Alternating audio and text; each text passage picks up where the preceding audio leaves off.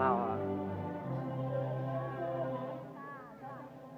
Chúa Giêsu đã xuống đời nơi mà có chuồng chiên nghèo nàn